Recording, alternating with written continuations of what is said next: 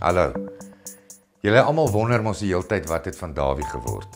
Die ou is baie moeiliker om die hande te kry, hy's baie besig. Ek dink nie hy's kameras ken nie. Maar hierso is sy antwoorde op julle vrae. Was baie interessant geweest uh in die feit dat Jan Engelen, hy was die regisseur geweest en hy uh, lees hy sy assistente daai tyd het in die klasse kom sit en kyk na die kinders hoe hulle reageer en whatever wat hulle gedoen het in die klas daai tyd. Ehm um, hulle het na al die skole in die hele Auckland Park area gegaan en daarna het hulle ons gekontak en vir ons gesê ons moet nou West Dean Dam toe kom om audisies te kom doen. Oorspronklik was daar tussen 100 110 seuns gewees. Dit is in groepe opgedeel en dan moes jy allerlei goed doen, skyngevegte in bome rondspring.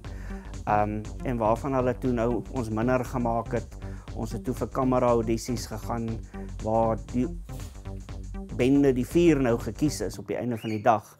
Oorspronklik sou ek nie die rol gekry het nie. Ehm um, daar was 'n ander seun gewees wat dit gekry het.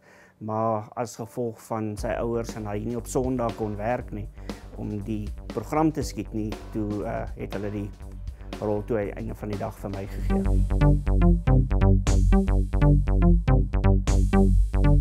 Ja, baie baie goed. Ehm um, ek het al die trompie boeke verslind wel op daai stadium het ek enige boek verslind. Ek is maar nog altyd 'n boekwurm gewees. Lees altyd. Uh, my ouers het altyd vir my vertel toe ek nog baie baie klein was, voor ek eintlik kon loop het ek al gesit met die koerant voor my en die koerant lees. Al was hy onderste bo. So die storielyn het ek baie goed geken, die karakters het ek geken. Ja, dit's maar groot geword met die boeke.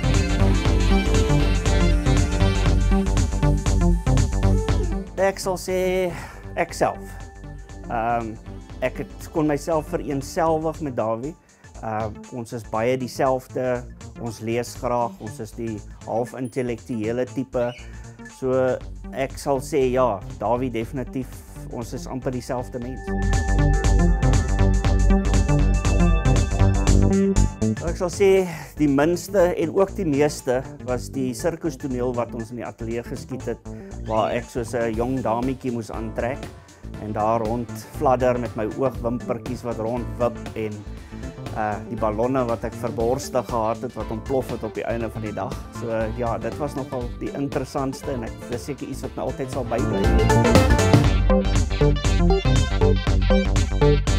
Ehm um, ja, daar was so baie gewees.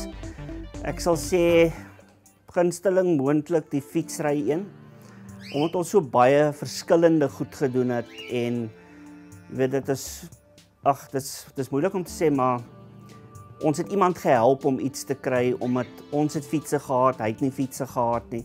So dit was nogal belangrik om ons laat ons hom kon help. En omdat ons verskillende met verskillende akteurs byvoorbeeld gewerk het. Daar was so baie verskillende akteurs wat in die prentjies gekom het.